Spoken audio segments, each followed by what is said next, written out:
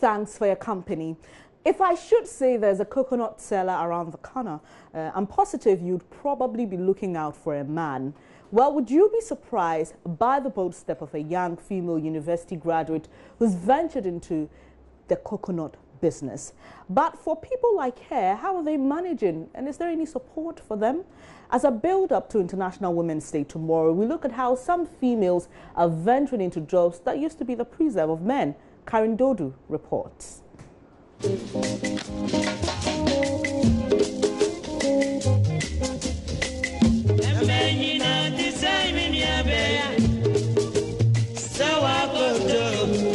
Adowarim Luguzuri is a graduate from the University of Ghana. Coconut vending here in Ghana is a profession mainly for men. From the planting to the of coconuts, it's a man's world. But Zuri was not deterred by this. Oh, sometimes um, at the onset, okay, you know, you have people trying to cheat you because they think you have no, you don't have enough knowledge about the about the business. Yes, but um, with time, I've been able to find ways and means to, you know, um, prevent all these things because as as every day I keep on doing the job, I'm able to learn new strategies that would help me, you know, and protect me as a lady to do this job. So since I found myself in, let's say, a strictly a male strictly um, venture, um, I try as much as possible to be able to communicate to, to them in a way that they feel at home, and know, that I don't I don't make things too rigid, okay, because I'm the only female here, as as, as you've seen. You know, I, I, get them closer to my to me. You know, we get we are more or less like a family. You understand? So when you do that, when you get them close, when you're able to share ideas, when you're able to encourage them and do all that, they feel at home, and you know, it makes the job easier for them. Another lady who has mastered courage to venture into the male dominated area is Regina. She is a software developer. Being in a male dominated space comes with different challenges and also different opportunities. Um, I think for me, I have learned to develop a tough skin and I have learned to sort of find my voice and then stand on my own. Um, I am always getting the five second shock reaction because I'm never what anybody expects anytime I come as the CEO of a tech company. And I'm also sort of the outlier I stand out because, you know, um, in my previous jobs as the only female in the IT department, you know, everybody was curious about what I had to offer. So it's, it's been a roller coaster ride. I mean, entrepreneurship is up, down, up, down, up, down. But um, I keep riding the wave, and so far I'm happy that I chose that path. You might call it a short time in business, but for Zuri, little did she know that her thirst for coconuts some five years ago will lead to the birth of a dream. So one day um, in school, my friends and I went out to get food we got to Okponglo to buy our food and then I saw coconut, coconut vendor. So I just told my friends, oh, let's go get some coconut because I personally like coconuts. So um, in conversations with the coconut seller, he made mention he worked with an NGO and all that. He had a diploma and all that.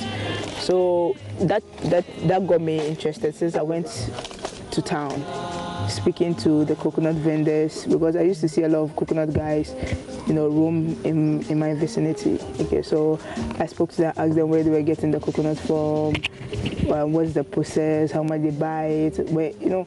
So by the close of the day, I was able to get enough information, and um, that was on a Thursday. So Saturday night, I told my daddy that um, this is what I want to do, and on Sunday, I went to Nsawam to start with the enquiries. Went into the plantation, found out who was in charge, how we could get the coconuts, and that was the start of Zuri Coconut. Ghana, like many other countries, has seen an increase in the number of women starting up their own businesses. The focus is gradually shifting from the usual trading and culinary services that women are known for. Zuri Coconut into the wholesale and retail of fresh coconuts. So, um, with the wholesale, we are able to sell to the um, vendors on the streets, and with the retail, we are able to do events. We are able to do um, we package the coconut for indoor events. We do corporate meetings. We do corporate get-togethers. Do parties and all that. Just like Zuri, Regina hopes to make a change in the Ghanaian society with her foundation, Soronko Foundation. So Soronko Academy is a coding and human-centered design academy.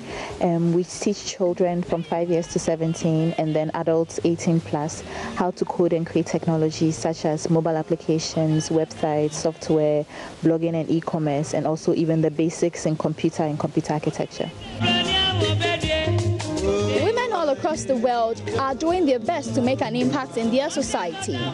Female entrepreneurs are going the extra mile to earn a living for their families and make a name in society. As we mark the International Women's Day themed Press for Progress this year, we ask, are we really pushing the women to make progress and are we celebrating their achievements?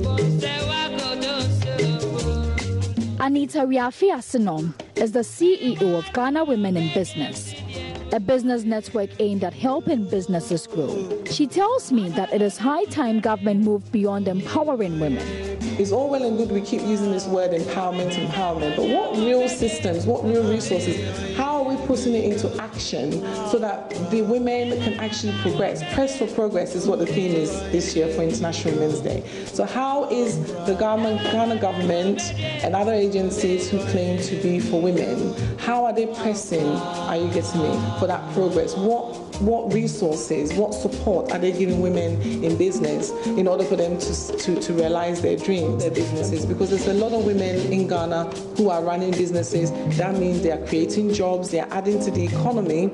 And if you can imagine what some of the areas are, if they got some support with advocacy training, with finance, they can grow their businesses and create more jobs.